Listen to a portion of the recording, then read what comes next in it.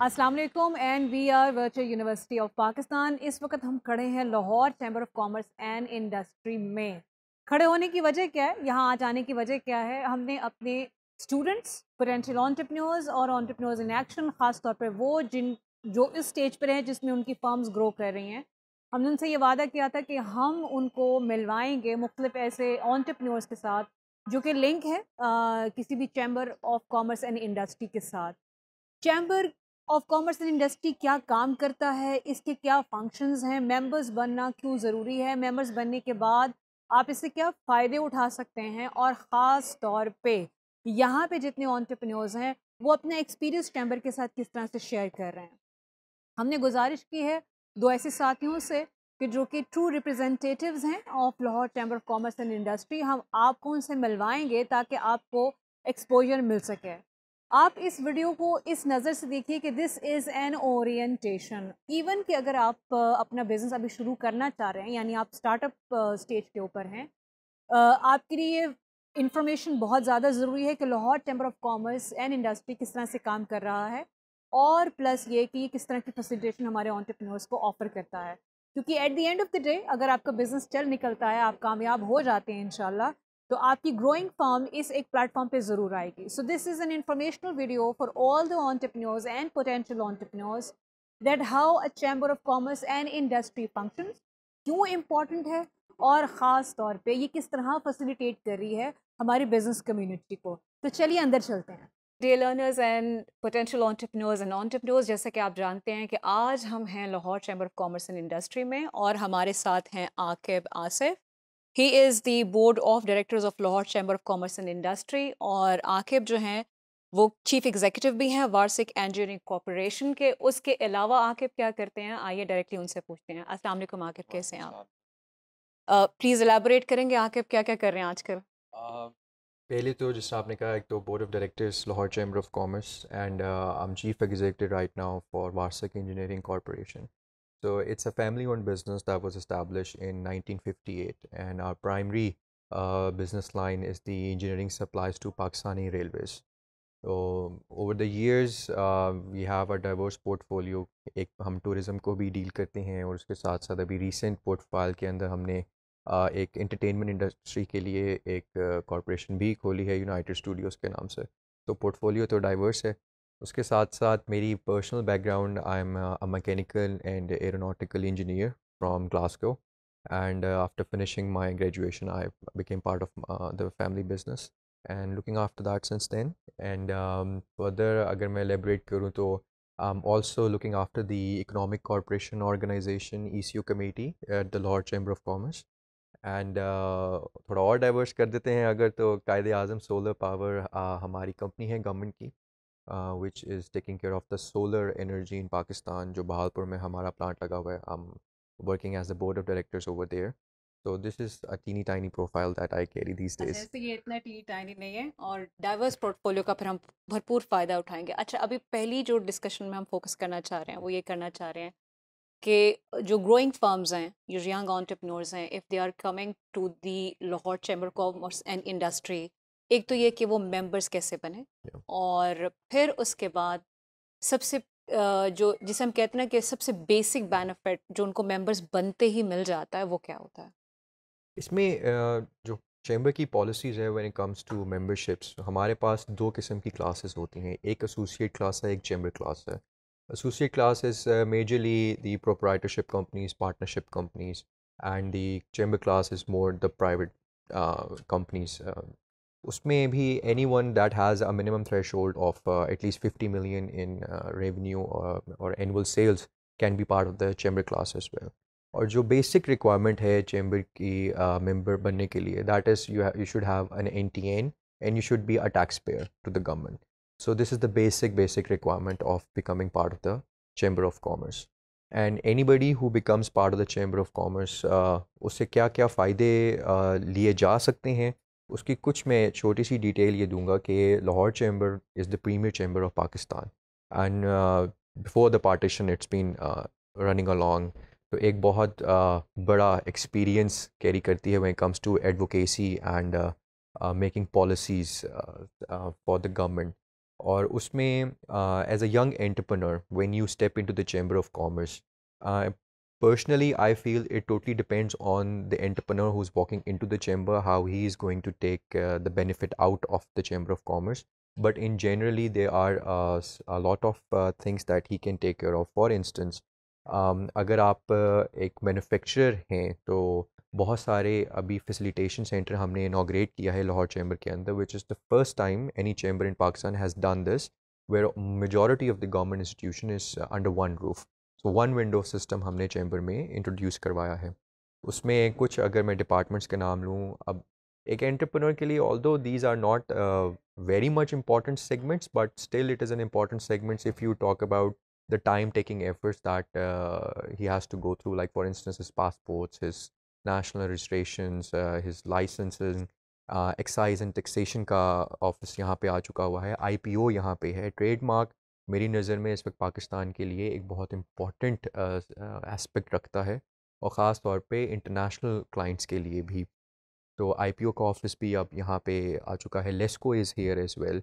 तो दीज वफाकी मोतसब जहाँ पे if you have any issue with the government and if you want file a complaint against them so according to their policy it has to be resolve within the sixty days and that department is also now in the Chamber of Commerce so uh, it totally depends on what kind of prospect you're looking from the chamber of commerce or as an entrepreneur बहुत सारे जो other मामला हैं जिसमें वो फ़ायदा उठा सकता है uh, Lahore Chamber is governed as uh, the office bearers, which is the president, senior vice president, and the vice president, which gets elected for one year. Then you have the secretary general, who is responsible for the affairs of the Chamber of Commerce.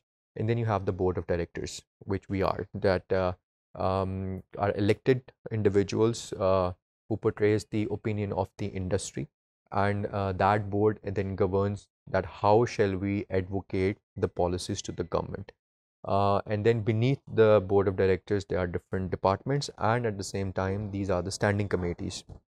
har koi 25000 member hai lahore chamber of commerce ka now probably this year it will be 28000 so 28000 is a very large database that you carry as an entrepreneur आपके लिए जो सबसे important role chamber play कर सकता है that is networking networking with the right individuals networking with those people who are already इधर in the same sector और who can be your mentors from where you can learn from कि हमने उनके experience से सीख के कि क्या गलतियाँ उन्होंने की हमारे बड़ों ने। मैंने तो हमेशा यही सीख अपने बड़ों से कि अच्छा भाई मैंने ये गलती की है तुम ये गलती ना करना। तो जब तक आप ये चीज़ नहीं रियलाइज़ करते कि क्या चीज़ें एक्सपीरियंस से आपने लेनी है तब तक वो आपके लिए एक हर्डल रहता रहेगा। या तो खुद सीखें या लोगों के एक्सपीरियंस से सीखें ये दो ये दो ही ऑप्शंस होती हैं।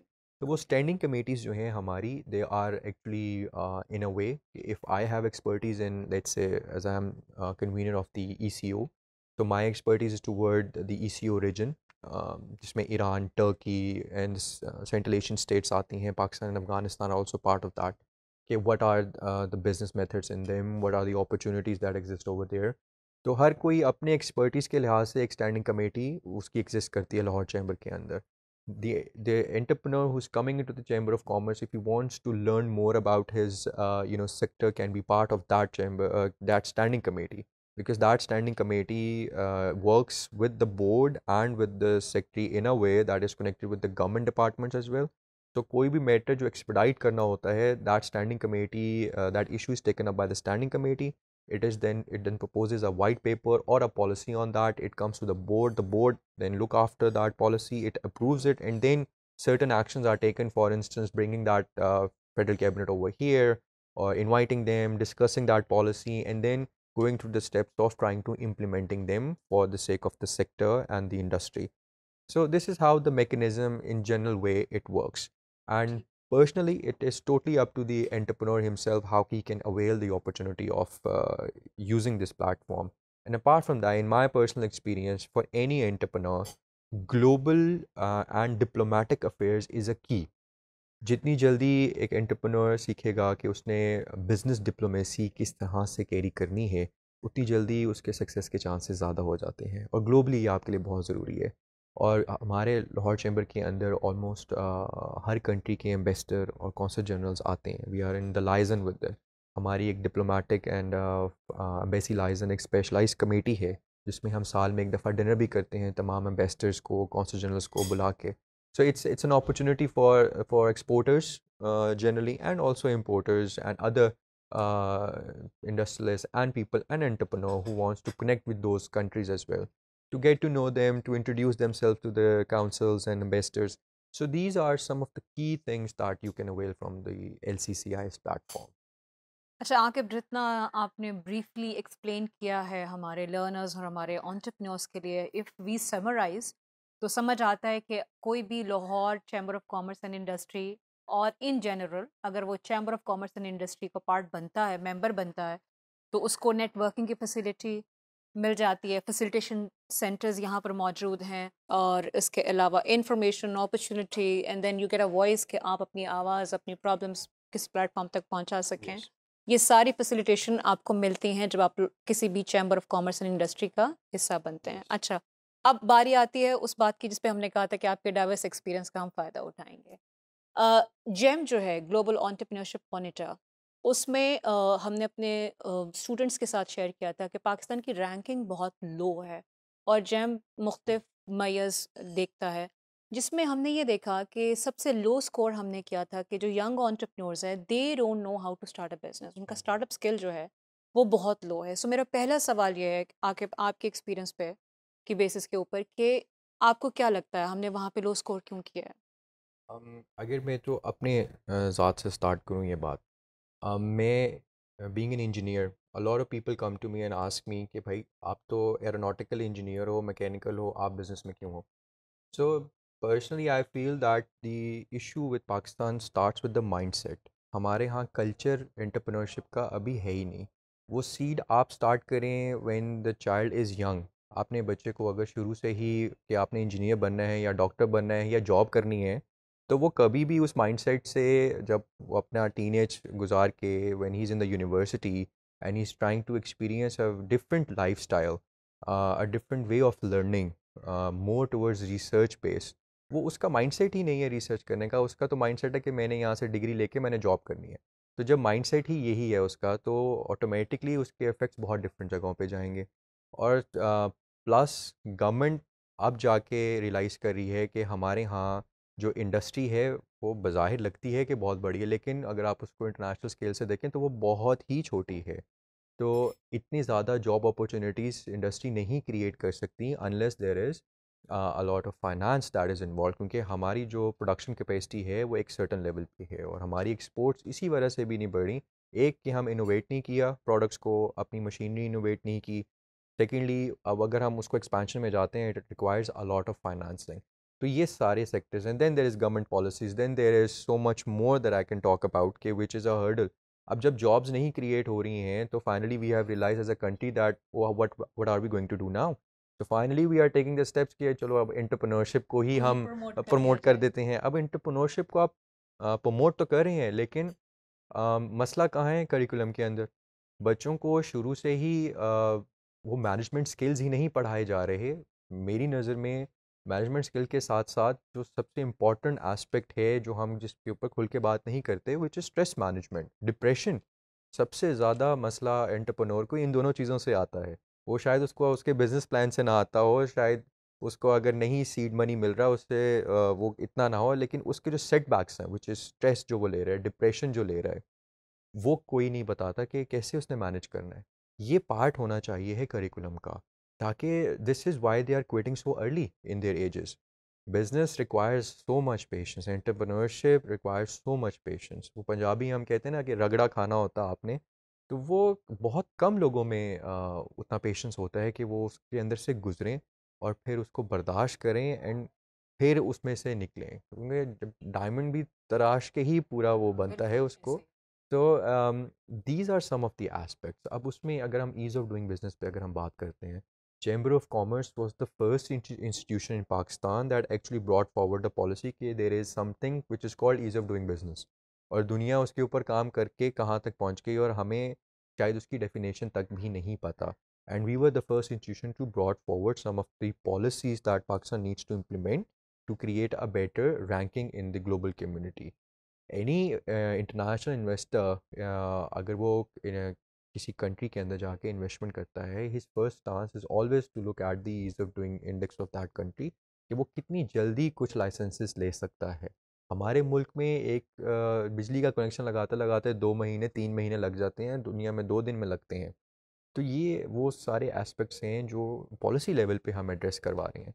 और यंग एंटरप्रेन्योर के लिए तो मसला सबसे ज़्यादा is number one that he doesn't have a backing ज़्यादातर एंटरप्रेन्योर्स जो आ रहे हैं वो मिडिल क्लास से आ रहे हैं।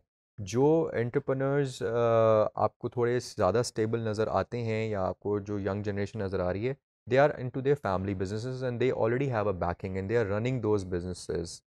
What what about those uh, who coming from the middle class? उनके पास फाइनेंस नहीं है उनके पास जगह नहीं है अपना बिज़नेस स्टार्ट करने के लिए उनको कोई गाइड करने के लिए नहीं है। जिस तरह कुछ चीज़ें हैं गैप एनालिसिस कैसे करना है उन्होंने अपने प्रोडक्ट का उसने अपने प्रोडक्ट को रीशेप कैसे करना है।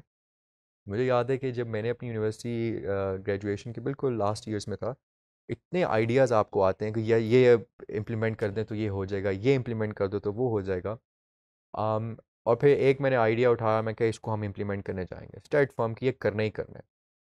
uh, जो आइडिया ओवरऑल था उस वक्त, आज से पाँच साल पहले और आज जो वो आइडिया है, उसमें बहुत फ़र्क है। ज़मीन आसमान का फ़र्क है। बहुत सारी चीज़ें आप नहीं रियलाइज़ करते और वो टाइमली आहिस्ता आहिस्ता आप देखते हो कि उसमें क्या क्या चेंजेस होने वाली हैं, क्या चीज़ें इनोवेट होने वाली हैं और what are international practice in that and how are you going to make it practical तो वो उस पॉइंट तक पहुँचते पहुँचते आपको बहुत कुछ सीखना पड़ जाता है। और वो बहुत सारे एंटरप्रेन्योर्स पहले ही गिव अप कर जाते हैं कि यार ये आइडिया नहीं चलेगा। मेरा नेक्स्ट क्वेश्चन भी यही था कि एक तो मैंने आपसे ये पूछना है आपने कि जो ईज़ ऑफ़ डूइंग बिज़नेस है ना अगर आप उसकी कोई एक डेफिनेशन हमें बता सकें कि अच्छा ईज़ ऑफ़ डूइंग बिज़नेस में ये चंद एक चीज़ें हो तो हम कहते हैं कि हाँ बिज़नेस करना आसान है। सेकेंड मेरा क्वेश्चन यही था हमारे यंग ऑन्टरप्रनोर्स की जो ऑन एवरेज देखा जा रहा है कि बिज़नेस लाइफ जो है वो दो तीन सालों के अंदर अंदर ही they shut down usually their businesses वही आपने स्ट्रेस मैनेजमेंट है टाइम मैनेजमेंट है या जल्दी घबरा जाते हैं। उसके लिए मुझे एक एडवाइस चाहिए थी कि अगर आपने वाकई सस्टेन करना है स्ट्रेस को किस तरह से हैंडल करना है ये तो रीज़न आपने बता दी कि क्विट क्यों करते हैं। सो so, पहले ईज़ ऑफ़ डूइंग बिज़नेस को आप कैसे डिफ़ाइन करते हैं और फिर उसके बाद अब अगर नहीं है still if you are doing your own business तो आपने उसको सस्टेन कैसे करना है? मैं अक्सर एक बात सोचता हूँ कि अगर जो पाँच साल मैंने पाकिस्तान में गुजारे हैं अगर वही पाँच साल मैं यूके में ही गुजारता तो what would have been the different in that देखिए Pakistan probably right now is one of the toughest countries to do business in cost of doing business बहुत ज़्यादा है। बिजली इलेक्ट्रिसिटी की कॉस्ट इतनी ज़्यादा है। आजकल पाकिस्तान में जब अर्बनाइजेशन हो रही है रेंट बहुत ज़्यादा हो गया वो अफोर्ड नहीं कर सकता है एक young entrepreneur cost of doing business बहुत ज़्यादा बढ़नी शुरू हो गई है आपकी फ्यूल चार्जेस देख लें कहाँ जा रहे हैं। तो अब कोश शेयरिंग वर्क स्पेसिस आनी शुरू हो गई हैं मेरे नज़र में बहुत अच्छा इनिशिएटिव है। एंटरप्रेन्योर्स के लिए एक, एक एक जगह मिल गई उसको कुछ करने के लिए। मैं खुद पर्सनली उसको अवेल कर रहा हूँ क्योंकि आई फील कि हम ठीक है हमारे पास अपनी ऑफ़िस स्पेस भी है। हम जाके बैठेंगे हमें मिलने के लिए हज़ारों लोगों ने आना है तो वो वहाँ पे आएँगे उनकी भी फुटफॉल्स डिफरेंट तरीके से बढ़ेंगी। हम अगर कोई ब्रांड लॉन्च कर रहे हैं तो अगर उस पर उनका भी नाम आ रहा है साथ तो वो उनके लिए भी प्रमोशन है। हम एक दूसरे को सपोर्ट करने के लिए तैयार नहीं है एज अ कम्युनिटी ये हमारी कम्युनिटी में भी मसला है। और अगर हम ईज़ ऑफ़ डूइंग बिज़नेस के ऊपर मैं स्पेसिफिक बात करूँ पहले हमें थोड़ी सी पॉलिसीज़ ठीक करनी पड़ेंगी।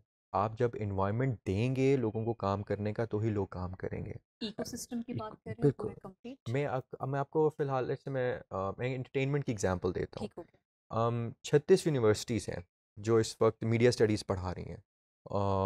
अब वो कहाँ हैं बच्चे? हज़ारों की तादाद में है। मेरे पास कुछ नंबर्स हैं उन फिगर्स हैं कि इतने हज़ारों की तादाद में बच्चे जो हैं ग्रेजुएट हो रहे हैं वो कहाँ पे हैं? इंडस्ट्री है हमारी क्या हमने उसको इंटरटेनमेंट को इंडस्ट्री का दर्जा भी दिया हुआ है कि नहीं? हम तो उनको वैसे ही कहते हैं कि साइड पर ये कौन सा सेक्टर ये कौन सा सेक्टर है? दुनिया में दुनिया की इकोनॉमीज़ को वो बिलियंस कमा के दे रही है उनका सॉफ्ट इमेज क्रिएट करके दे रही है जो हम निगलेक्ट कर देते हैं। तो ज़रूरी नहीं है कि आप इंजीनियरिंग साइड के ऊपर ही लेके आएँ कोई idea. There is so much more diverse fields that you can work on ease of doing business में अगर मैं कोई भी काम स्टार्ट करना चाहता हूँ तो मुझे देखना है कि मैं वो लाइसेंस कितनी आसानी से ले सकता हूँ नंबर वन अच्छा फिर कॉस्ट ऑफ़ डूइंग बिज़नेस उसके साथ कॉन्ट्रडिक्ट करती है। क्या अगर मैं अपना बिज़नेस इस रन करता हूँ, इन करंट पैरामीटर्स के ऊपर, क्या मैं कम्पीट कर सकता हूँ इंटरनेशनल मार्केट में, अगर वो इंटरनेशनल प्रोडक्ट है? अगर वो लोकल प्रोडक्ट है तो मैंने अपना करंट कंपटीशन देखना है। तो अगर करंट कंपटीशन को देखें तो उनके ऊपर भी सेम पॉलिसीज़ ही इम्प्लीमेंट हो रही होंगी।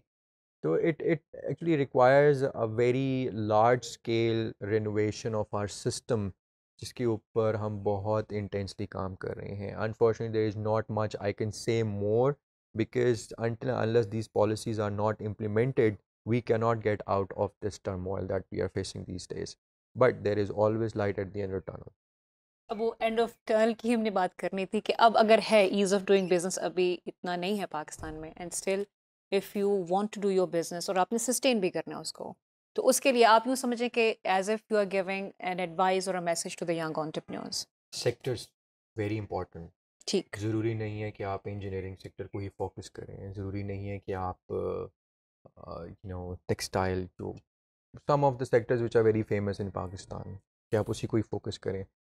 However, if you are uh, up to your graduate, uh, postgraduate studies, masterminds are always there in every every university. Uh, the chamber itself and some of the large multinationals has uh, a proper system where they give their um, industry highlights and they share it with the universities and ask them to create uh, research papers on certain subjects. अगर if you are capable if I am saying general मैं entrepreneurship को दो side पे break करूँगा एक research side पे और एक आप अगर मैनेजमेंट साइड पे अपना कोई बिज़नेस स्टार्ट करते हैं ठीक हो गया। अगर रिसर्च साइड से देखते हैं if you have a brilliant idea that can revolutionise an industry then go for it if you think you are capable enough and personally I feel every Pakistani is capable enough who sitting in university हमारी universities बहुत अच्छी हैं हमारे brain बहुत creative minds हैं बिल्कुल।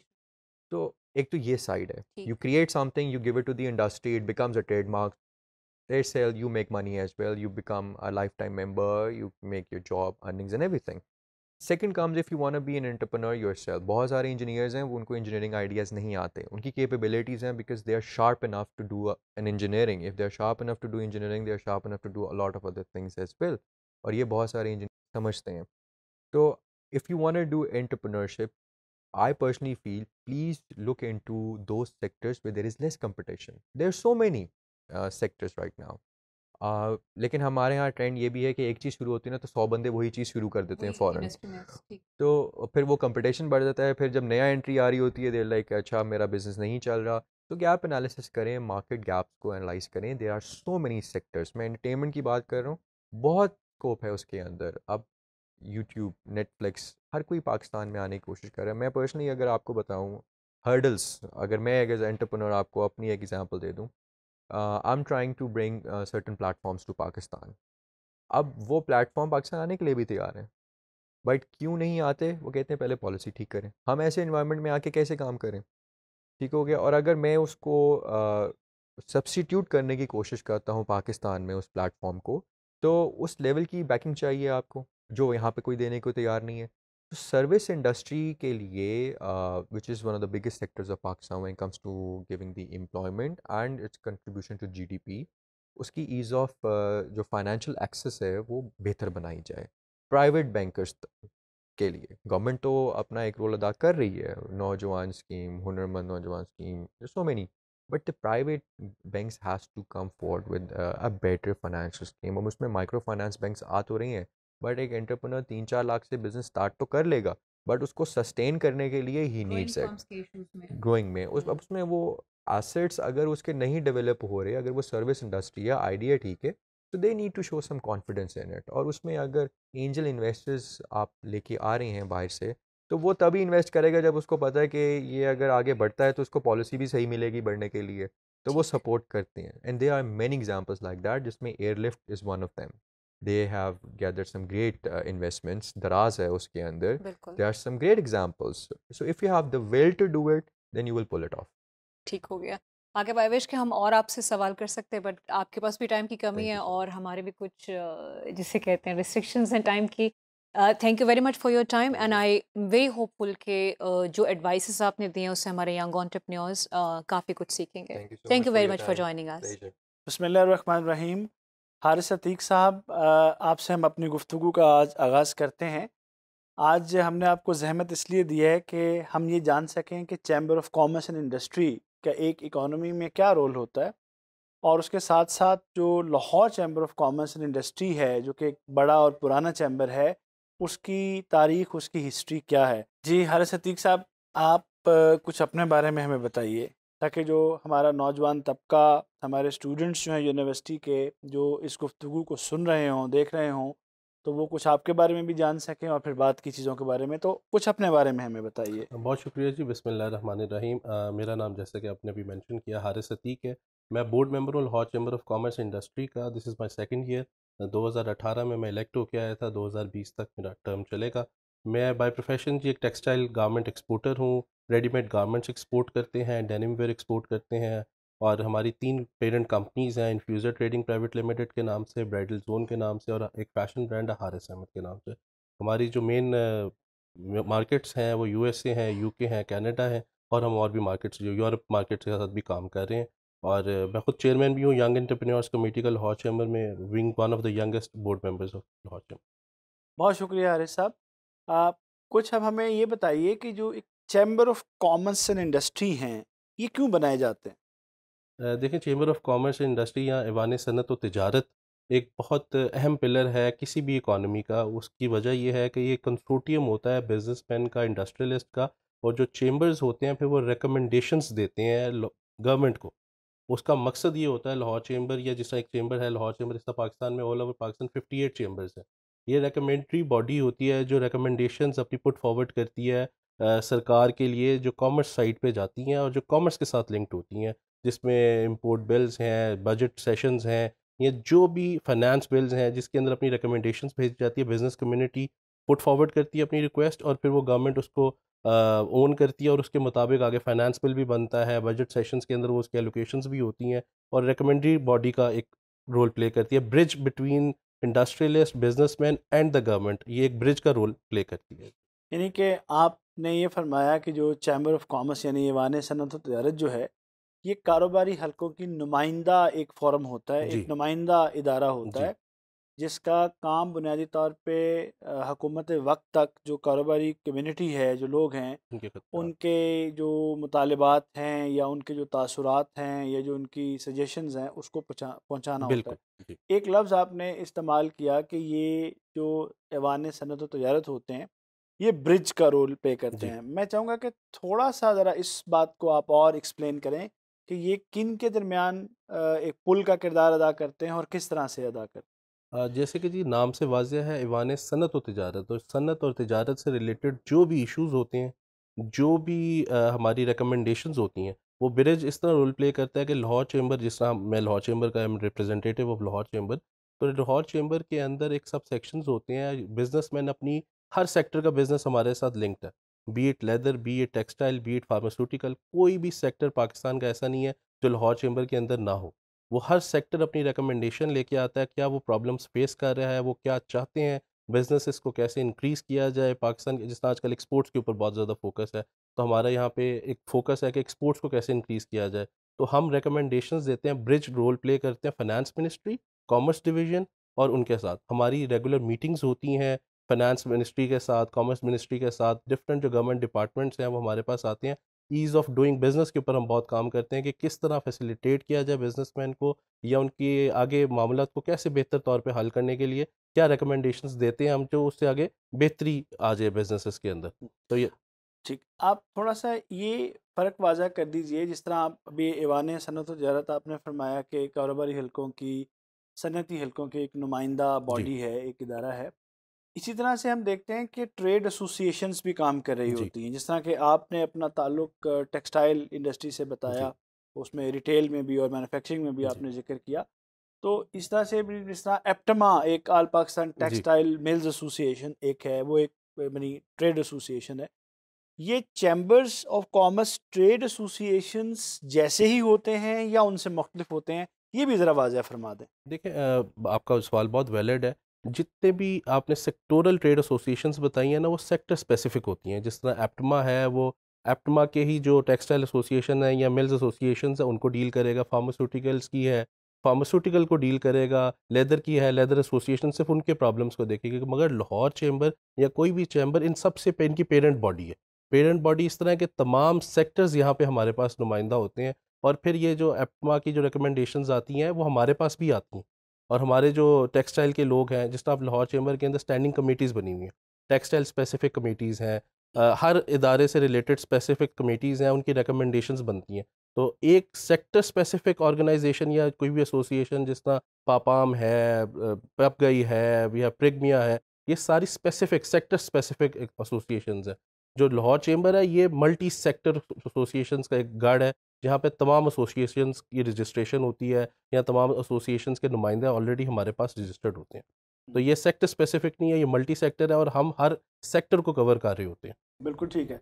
बहुत अच्छा आपने इसको फ़र्क को वाजह कर दिया क्योंकि ये एक ऐसा फ़र्क है एक ऐसा सवाल है जो कि हमारे यंगस्टर्स के सामने आ जाता है। इसका मतलब है इससे हम ये समझें कि अगर मैं कोई कारोबार कर रहा हूँ किसी भी सेक्टर में काम कर रहा हूँ तो मुझे अपनी सेक्टोरल स्पेसिफिक बॉडी से भी एक रिलेशनशिप रखना होगा और उसके साथ साथ जो चैम्बर है जो जर्नलिस्ट है जनरल उसका स्कोप बड़ा है उसके साथ भी एक ताल्लुक़ रखना पड़ेगा। यार साहब ये बताइए क्योंकि इस वक्त हम आपके साथ लाहौर चैम्बर ऑफ़ कॉमर्स में बैठे हुए हैं। जिस तरह लाहौर के बारे में कहा जाता है कि ये सिर्फ़ पाकिस्तान का ही नहीं यानी तकसीम से पहले जो अनडिवाइडेड इंडिया था उसका भी इसको कल्चरल हब कहा जाता था लाहौर को। अगर भी हम अपने अदब या इल्म अदब पे भी निगाह डालें तो लाहौर की बड़ी कंट्रीब्यूशन है।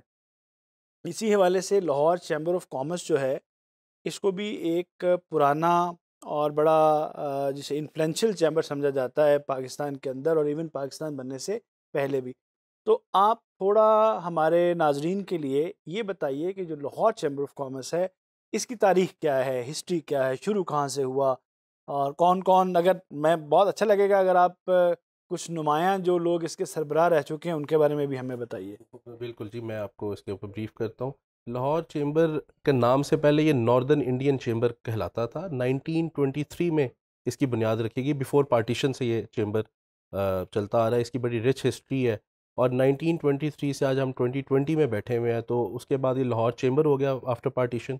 Lahore chamber of commerce के अंदर अगर आप प्रोमिनेंट नेम्स पूछना चाहें तो we have lot of big industrialist जिनके नाम है मगर जो बहुत आपके इसहाक डार साहब इसके नुमाइंदा रह चुके हैं शबाज शरीफ साहब इस चेंबर के नुमाइंदा रह चुके हैं बहुत सारी पॉलिटिकल पार्टीज़ के जो अब हेड हैं वो अब इस टाइम इस, चेंबर के नुमाइंदा रह चुके हैं बहुत बड़े इंडस्ट्रियलिस्ट हैं एजाज मनु साहब हैं एजाज मुमताज़ साहब हैं शेख आसिफ साहब हैं फिर गार्ड ग्रुप के जो इस टाइम पे अब कमिंग सार्क प्रेसिडेंट हैं गार्ड ग्रुप को रिप्रेजेंट करते हैं, मलिक इफ्तार साहब, वो हमारी इस नुमाइंदा जमात के, इस चेंबर के प्रेसिडेंट रह चुके हैं। फिर इस टाइम पे जो फेडरेशन के प्रेसिडेंट है, फेडरेशन चेंबर ऑफ़ कॉमर्स के प्रेसिडेंट हैं, ये भी डिस्टिंक्शन हासिल है लाहौर चेंबर को कि उनके प्रेसिडेंट अंजुम निसार साहब इस टाइम पे फेडरेशन प्रेसिडेंट हैं।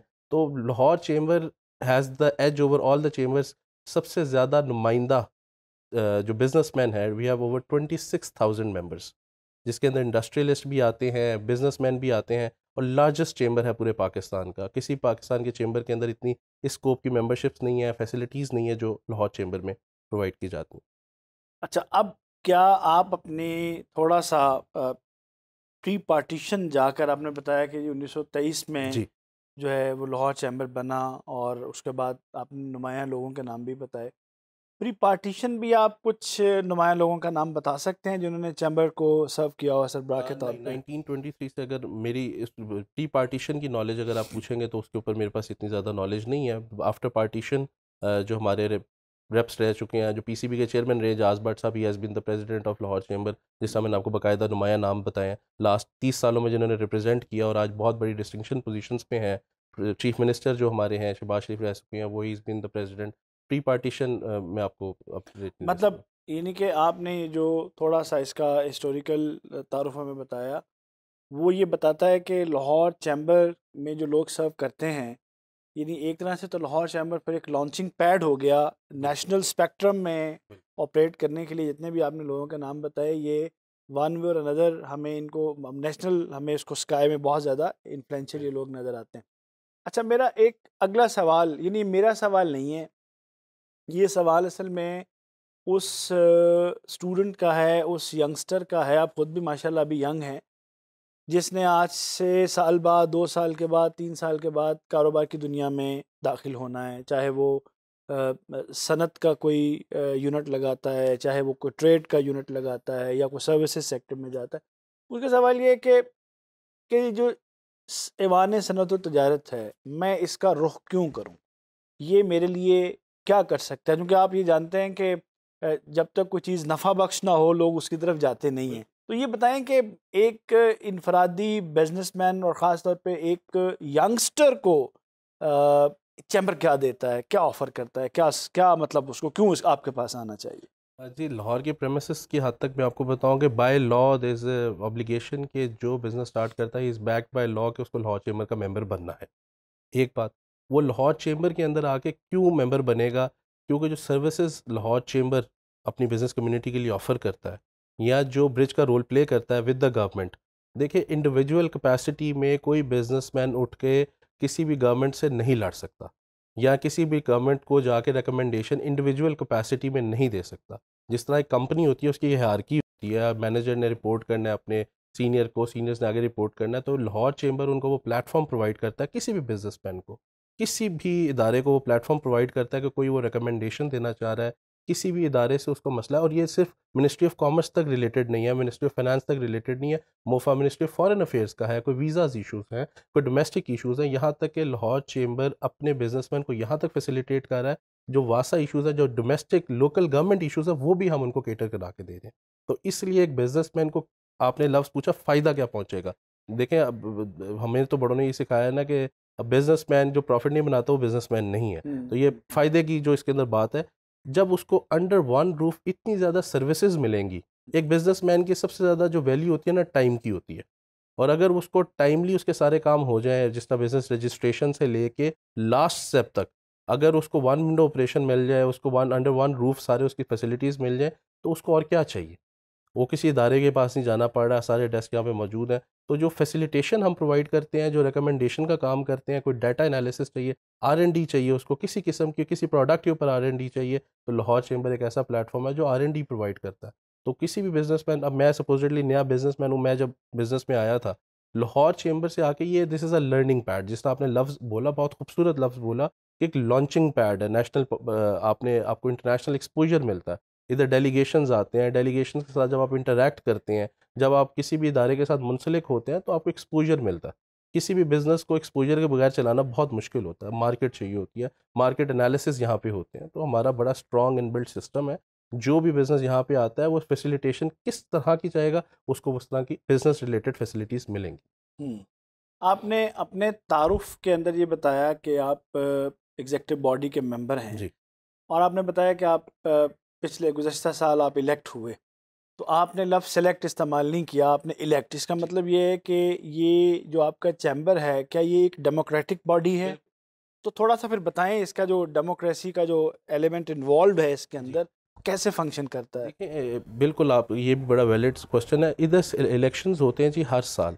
बेसिकली इधर दो हाउसेज हैं कॉर्पोरेट क्लास जिसको कहा जाता है और एक एसोसिएट क्लास कहा जाता है। इंडस्ट्रियलिस्ट जो होता है वो कॉर्पोरेट क्लास जिसकी सेग्रीगेशन ये है कि जी फिफ्टी मिलियन से जिसका टर्नओवर ज़्यादा है he is a corporate member of the Lahore chamber जिसके, जिसकी लिस्ट हमारे पास एटलीस्ट अभी करंट एनालिसिस में we have five thousand plus corporate members और फिर एक आता है एसोसिएट जिसको आप ताजर कहते हैं।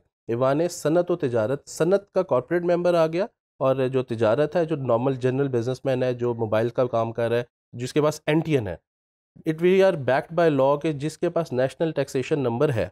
वही हमारा मेंबर बन सकता है, उसके अलावा कोई मेंबर नहीं बन सकता। फिर हर साल इधर इलेक्शंस होते हैं थर्टी टू का हाउस होता है। There are thirty two members in the house sixteen are elected every year and the sixteen are followed the next year यानी कि आज दो हज़ार अठारह में मैं इलेक्ट होके आया था तो 2019 के इलेक्शंस में मेरे इलेक्शंस नहीं थे, मेरा सेकंड ईयर था और जो 2019 में नई बॉडी आई 16 लोगों की, वो आगे कंटिन्यू करेगी। तो आठ कॉरपोरेट सीट्स पे इलेक्शन होते हैं और आठ एसोसिएट सीट पे इलेक्शंस होते हैं और ये बड़ा डेमोक्रेटिक प्रोसेस है।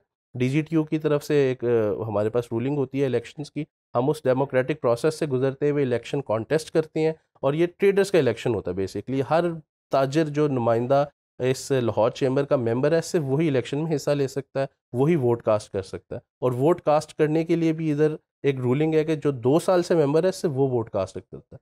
मेंबर्स की तादाद अगर छब्बीस हज़ार है तो ये भी ज़रूरी नहीं है कि वोटर्स भी छब्बीस हज़ार होंगे। जो दो साल से कॉन्टीन्यूस मेंबर्स होंगे they are going to be the voters तो एक बड़ा खूबसूरत डेमोक्रेटिक हाउस है।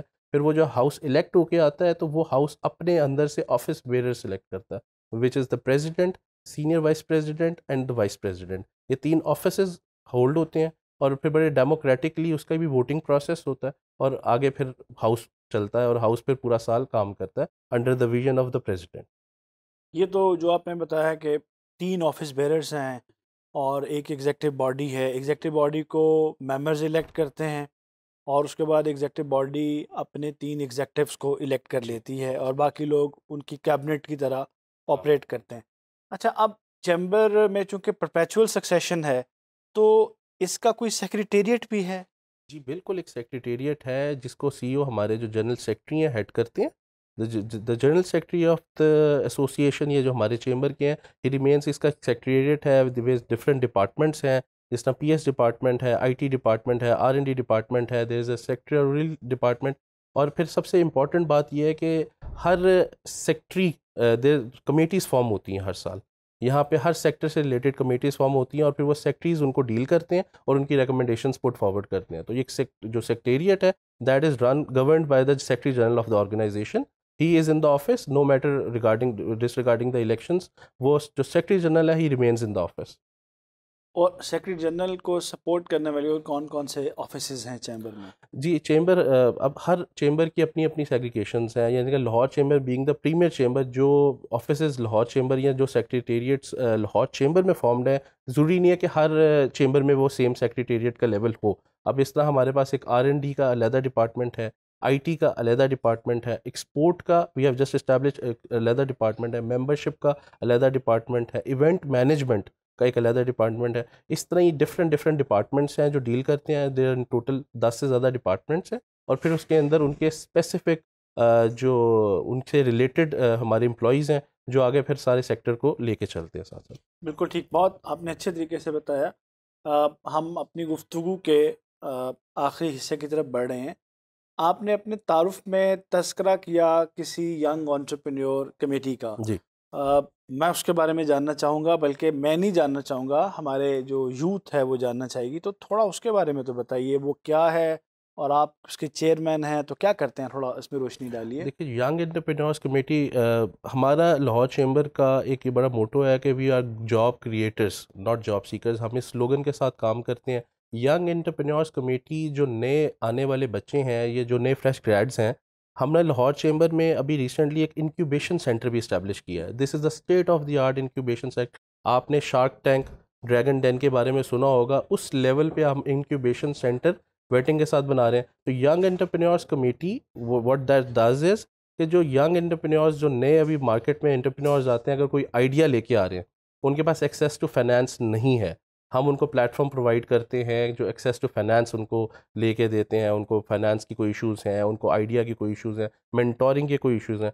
हमारी यूनिवर्सिटीज़ के अंदर, बल्कि मेरी रिकमेंडेशन हमेशा से रही है कि प्रैक्टिकल नॉलेज बहुत कम होती है।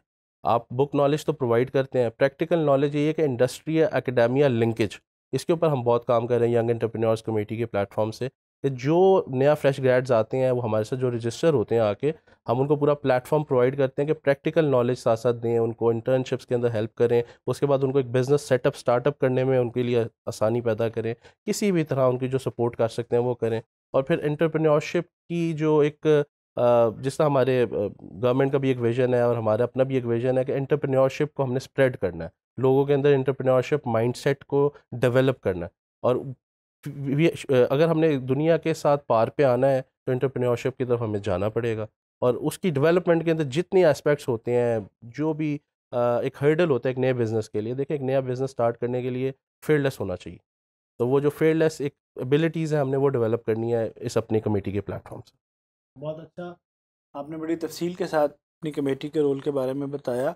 मेरा आपसे आखिरी सवाल ये है कि आपने ख़ुद भी कारोबारी फैमिली से आपका ताल्लुक़ है ख़ुद भी आपने कारोबार का फल चखा है थोड़ा सा बताइए कि हमारी यूथ को क्या मैसेज देना चाहेंगे?